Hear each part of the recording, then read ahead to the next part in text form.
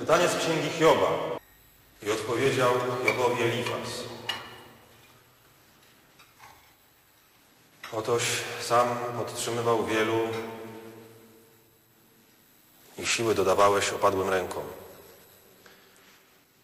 Ale teraz, kiedy Ciebie dotknęło, popadłeś w trwogę.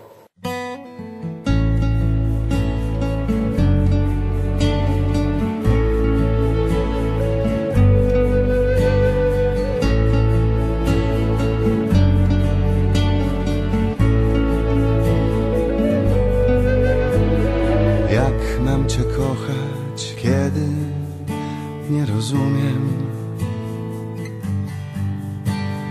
Jak Cię zrozumieć, kiedy nie pojmuję, kim jesteś? Jak Cię usłyszeć, jeśli nic nie mówisz?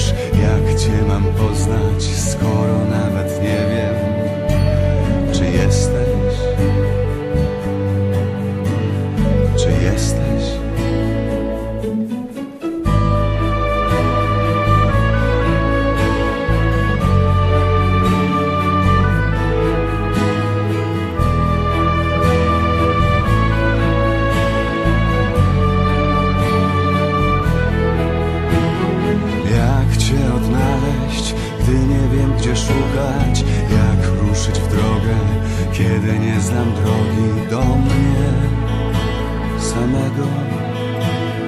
Jak Cię odnaleźć, gdy nie wiem gdzie szukać?